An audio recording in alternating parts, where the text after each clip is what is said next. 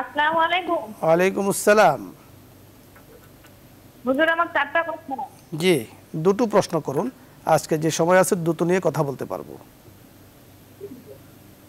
হুজুর আমি যে কাজা নাম আড়াই করছি তাতে শূন্য ফরজ দুইটা আড়াই করছি। কি আমার না হবে কাজা নামাজের ফরজের সুন্নত সুন্নতের কোনো কাজা নেই।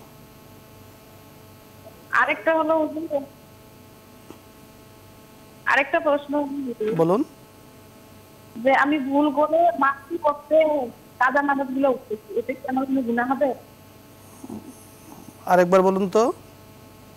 ভুল করে করতে কাজা নামাজগুলো মাকরোক্তে পড়েছেন? হ্যাঁ ধন্যবাদ। আমরা বুঝতে পেরেছি আলোচনা করছি। উনি যে নামাজগুলো ভুলে মাকরোক্তা ওকাতে মকরুহা তিন টাইম ওই সময় পড়েছেন তা নামাজগুলো হয়েছে কিনা? না তিনটে তো কোনো নামাজে পড়া যাবে না। সব কিছুই। যেহেতু কাজা তো আবার দৌড়াইতে হবে ওনাকে। দৌড়াইয়া পড়াটাই ভালো। হ্যাঁ, আশা করি বুঝতে পেরেছেন।